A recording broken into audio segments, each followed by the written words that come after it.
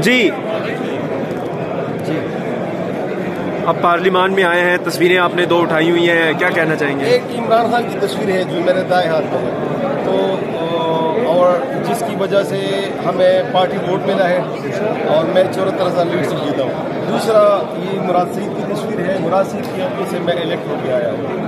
तो मेरा मैसेज ये है, लोगों के लिए भी कि हम इमरान खान की रिहाई के लिए, इसके लिए काम करेंगे यहाँ पे, इसके लिए जहद करेंगे यहाँ पे। और हमारी आवाज़ जो है वो पार्टी के लिए होगी